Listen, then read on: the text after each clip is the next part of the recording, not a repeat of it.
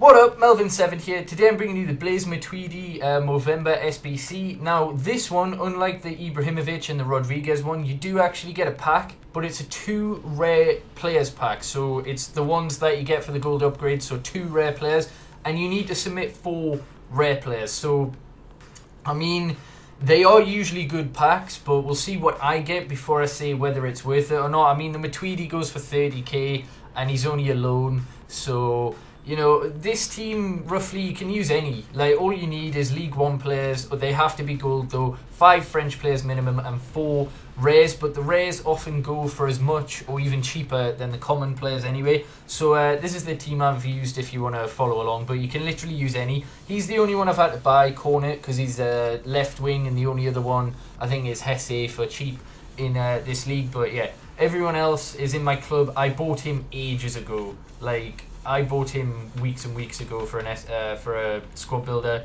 So yeah, he's not going to be anywhere near 1.8.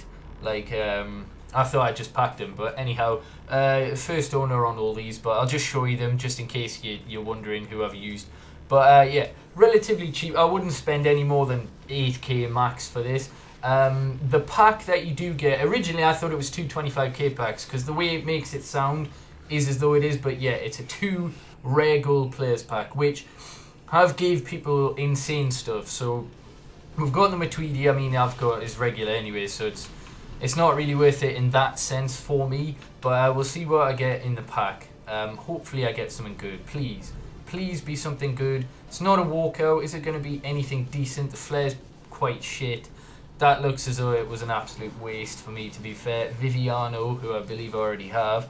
Who's the other player? Oh, no, I don't two Italian goalkeepers, Donnarumma, who is wow a thousand coins, and uh, Viviano. So for me, it's probably not worth it because I've already got Matuidi in my club. What promo packs are there?